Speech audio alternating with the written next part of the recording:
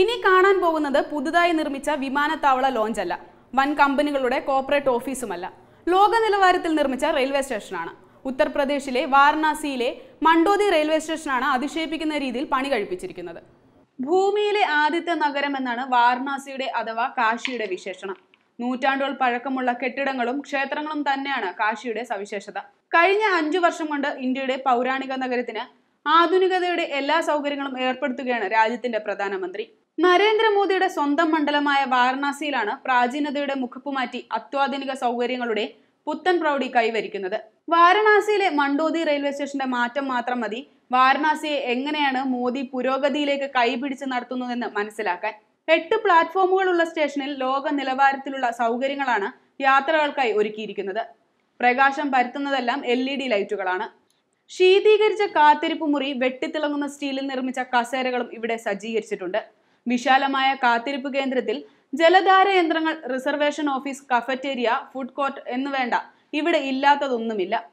കഴിഞ്ഞ അഞ്ചു വർഷം കൊണ്ട് മുപ്പത്തിനാലായിരം കോടി രൂപയുടെ വികസന പദ്ധതികളാണ് മോദി വാരണാസിയിലേക്ക് എത്തിച്ചത്. ഇത്രയധികം പദ്ധതികൾ നടക്കുന്ന ഇന്ത്യയിലെ ഏക നഗരമാണ് വാരണാസി.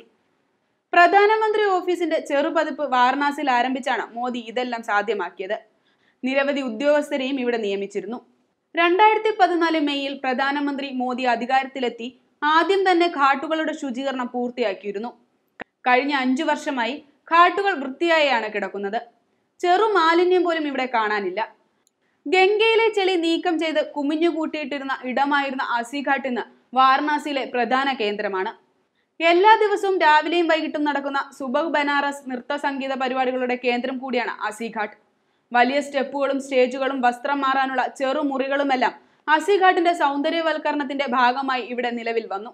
ബനാറസ് സർവകലാശാലയിൽ നിന്ന് കാശി ക്ഷേത്രത്തിലേക്ക് നീളുന്ന വഴിയും വിമാനത്താവളത്തിൽ നിന്ന് കാശിയിലേക്കുള്ള ഇരുപത്തിയഞ്ച് കിലോമീറ്ററിലധികം നീളമുള്ള റോഡുമെല്ലാം ഇന്ന് വീതി കൂട്ടി വികസിപ്പിച്ചിട്ടിരിക്കുകയാണ്. നഗരത്തിൽ നിരവധി ഇടങ്ങളിലാണ് ഫ്ലൈ ഓവറുകൾ ഉയരുന്നത്. ബനാറസിലെ നാല് റെയിൽവേ സ്റ്റേഷനുകളാണ് അന്താരാഷ്ട്ര നിലവാരത്തിലേക്ക് ഉയർന്നിരിക്കുന്നത്. ഇതിൽ മണ്ടോദി സ്റ്റേഷന്റെ നവീകരണം ആഗോള ശ്രദ്ധ നേടിയതാണ്. വാരണാസി വാരണാസി സിറ്റി കാശി സ്റ്റേഷനുകളും ഏറെ ഭംഗിയുള്ളതാക്കി.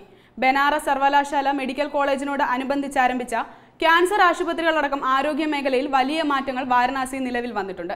വെബ് ഡെസ്ക് തത്തുമൈ ന്യൂസ്. കൂടുതൽ വാർത്തകൾക്കും വിശേഷങ്ങൾക്കുമായി ഞങ്ങളുടെ യൂട്യൂബ് ചാനൽ സബ്സ്ക്രൈബ് ചെയ്യൂ. നോട്ടിഫിക്കേഷൻ ലഭിക്കാനായി താഴെ കാണുന്ന ബെൽ ബട്ടൺ ക്ലിക്ക് ചെയ്യൂ.